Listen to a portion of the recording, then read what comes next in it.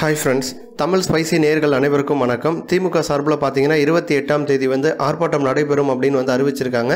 விவசாய விளைபொருட்கள் வர்த்தக மசோதா விவசாய விளைபொருட்களுக்கு வந்து உரிய விலை கிடைக்க உத்தரவாதம் அளிக்கும் மசோதா அத்தியாவசிய பொருட்கள் திருத்த சட்டம் அப்படின்னு மூணு வேளாண் மசோதாக்களை வந்து ஆளக்கூடிய பாஜக அரசு வந்து மக்களவையில் வந்து நிறைவேற்றினாங்க அதனை தொடர்ந்து வந்து மாநிலங்கள அவையிலையும் வந்து நிறைவேற்றினாங்க இப்போ இது சம்மந்தமாக பார்த்தீங்க அப்படின்னா திமுக சார்பில் வந்து அனைத்து கட்சி கூட்டம் வந்து நடைபெற்றுச்சு. இந்த அனைத்து கட்சி கூட்டத்தில் வந்து திமுக பொதுச் செயலாளரான துரைமுருகன் துணை பொதுச் செயலாளர் பொன்முடி தமிழக காங்கிரஸ் தலைவர் கே எஸ் அழகிரி மதிமுக வைகோ மார்க்சிஸ்ட் கம்யூனிஸ்ட் கட்சி பாலகிருஷ்ணன் இந்திய கம்யூனிஸ்ட் கட்சி முத்தரசன் இந்திய கம்யூனிஸ்ட் முஸ்லீம் லீக் கட்சியை சேர்ந்த அப்துல் ரகுமான் விடுதலை சிறுத்தைகள் கட்சி தலைவர் திருமாவளவன் திராவிடர் கழக பொருளாளர் குமரேசன் மனிதநேய மக்கள் கட்சி தலைவர் ஜவஹருல்லா கொங்கு நாடு மக்கள் தேசிய கட்சி பொதுச் செயலாளர் ஈஸ்வரன் இந்திய ஜனநாயக கட்சி தலைவர் ரவி பச்சமுத்து ஆகியோர் பார்த்தீங்கன்னா அந்த கூட்டத்தில் வந்து கலந்துக்கிட்டாங்க. அந்த கூட்டத்தில் வந்து வேளாண் மசோதாக்களை வந்து எதிர்த்து இருபத்தி எட்டாம் தேதி வந்து தமிழகம் முழுவதும் ஆர்ப்பாட்டம் வந்து நடைபெறும் அப்படின்னு வந்து சொல்லியிருக்காங்க. திமுக தலைவர் மு ஸ்டாலின் வந்து ஒரு அறிக்கையை வந்து வெளியிட்டிருக்காரு. அந்த அறிக்கையில் என்ன சொல்லியிருக்காருன்னா வேளாண் சட்டங்களை வந்து திரும்ப பெற கோரி மத்திய அரசை வந்து வலியுறுத்தியும் துணை போன அதிமுக அரசை வந்து கண்டித்தும் இருபத்தி எட்டாம் தேதி வந்து ஆர்ப்பாட்டம் வந்து நடைபெறுது.